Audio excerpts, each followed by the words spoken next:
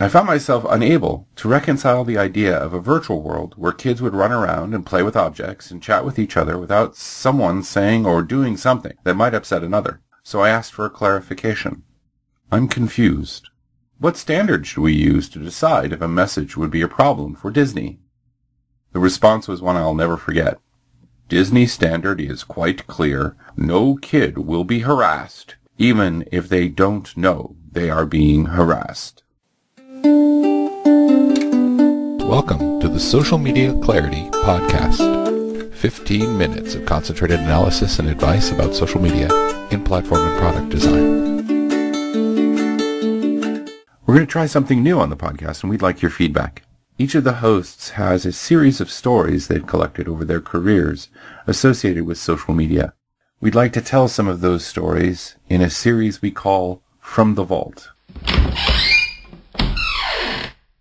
Today's story from the vault is from Habitat Chronicles, a blog I co-author with Chip Morningstar, and it's about moderation in early virtual worlds, specifically designed for children.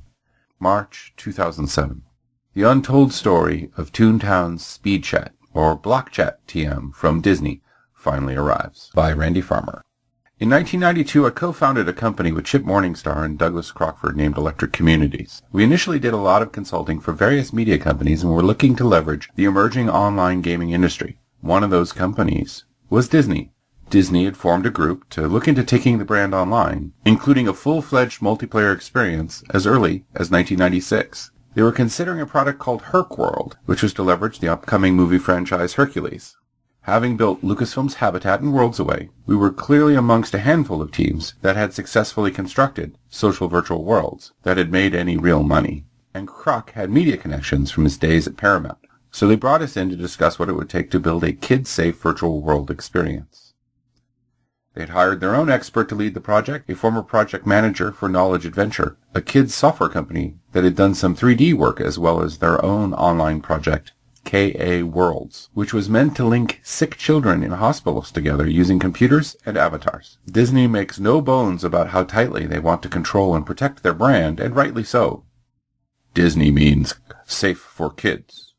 There would be no swearing, no sex, no innuendo, and nothing that would allow one child, or adult pretending to be a child, to upset another.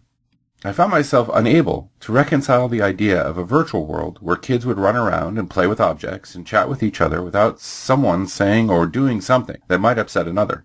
Even in 1996, we knew that text filters were no good at solving this kind of problem, so I asked for a clarification. I'm confused. What standard should we use to decide if a message would be a problem for Disney? The response was one I'll never forget. Disney standard is quite clear. No kid will be harassed, even if they don't know they are being harassed. So much for no harm, no foul, Chip grumbled quietly.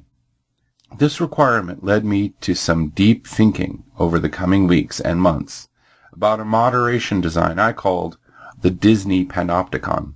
But that's an episode for another day. Okay, that means Chat for Herc World is out and there's absolutely no way to meet your standard without incredibly high moderation costs, we replied. One of the guys piped up, couldn't we do some kind of sentence constructor with a limited vocabulary of safe words? Before we could give it any serious thought, their own project manager interrupted. That won't work. We tried it for KA Worlds. We spent several weeks building a UI that used pop-downs to construct sentences and only had completely harmless words the standard parts of grammar, and safe nouns like cars, animals, and objects in the world. We thought it was the perfect solution until we set our first 14-year-old boy down in front of it. Within minutes, he created the following sentence. I want to stick my long-necked giraffe up your fluffy white bunny. KA Worlds abandoned that approach. Electric Communities is right. Chat is out. That was pretty much settled but it felt like we'd collectively gutted the project. After all, if the kids can't chat, how could they coordinate? It ended up being more like a world where you could see other players playing, but you couldn't really work together much. As I started daydreaming about how to get chat back into this project, we moved on to what activities these kids might do in the now chat-free Herc world. It was the standard fare. Collect stuff, ride stuff, shoot at stuff, and build stuff. Whoa! What was that last thing again? Kids can push around Roman columns and blocks to solve puzzles, make custom shapes and buildings, one of the designers said. I couldn't resist. Mmm. Doesn't that violate the Disney standard? In this chat-free world, people will push stones around until they spell hi, or F, U, C, K, or their phone number, or whatever. You've just invented block chat, TM. If you can put down objects, you've got chat. We learned this in Habitat and Worlds Away, where people would turn 100 afro heads into a waterbed. We all laughed, but it was that kind of awkward laugh that you know means you're probably all just wasting your time. Herc World never happened. Electric Communities moved on, renamed itself Communities.com, which has nothing in common with the current company, and did some wonderful design work on a giant 3D kids world for Cartoon Network, which ended up being much too ambitious to fund, but I mention it because the project was headed by Brian Bowman. Brian eventually left Atlanta for Disney, where he was in charge of the online experience for Zoog Disney, a preteen programming block. Brian remembered his work with us and asked us to help build a world for the Zoog audience. Nothing extravagant this time, just something simple like the Palace, which had been acquired by Communities.com, a no-download, in-browser, 2D graphical chat with some programmed object capabilities. The Disney standard, now a legend amongst our employees, still held. No harassment, detectable or not, and no heavy moderation overhead. Brian had an idea, though. Fully constructed sentences, dozens of them, easy to access. Specialize them for the activities available in the world. Baz Douglas, our project manager working with Zoog, liked to call this feature Chatless Chat. So we built it and launched it for them. Disney was still very tentative about the genre, so they only ran it for about six months, and I doubt it was ever very popular. But the concept resurfaced at Disney a few years later, in 2002, in the form of Speed Chat in Toontown. It was refined. You select a subject, and then from a submenu of sentences, each automatically customized to the correct context. Selecting I need to find would magically insert the names of the items you have quests for. For all walk-up users, all interactions would be via speed chat. They added a method to allow direct chat between users that involves the exchange of secret codes that are generated for each user with parental permission. The idea is that kids would print them out and give them to each other on the playground. This is a great way for Disney to end run the standard, since speed chat was an effective method of preventing the exchange of these codes, and theoretically the codes had to be given in person, making the recipient not a stranger. Sure, some folks post them on message boards, but presumably those are folks who are, one, adults, or two, know each other, right?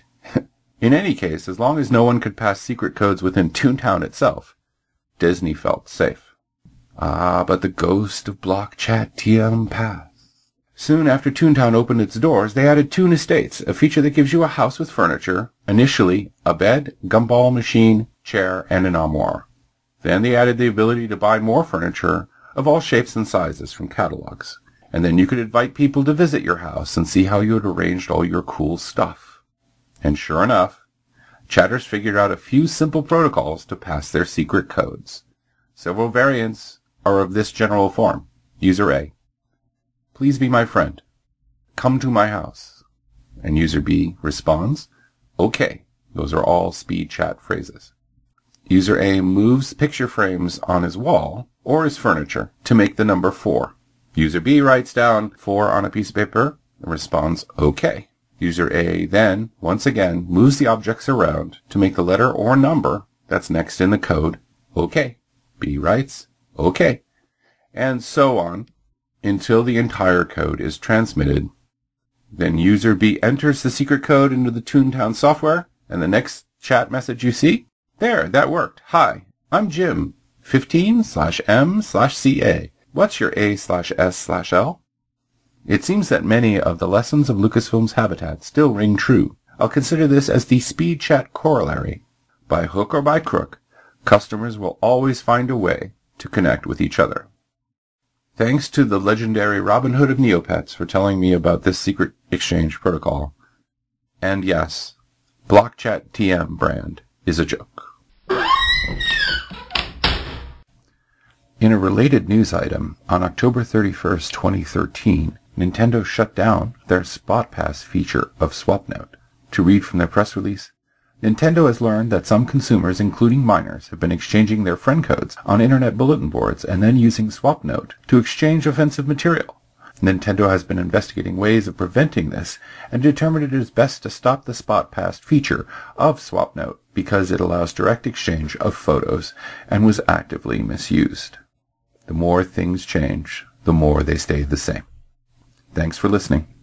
Go to socialmediaclarity.net. This podcast is available under Creative Commons license.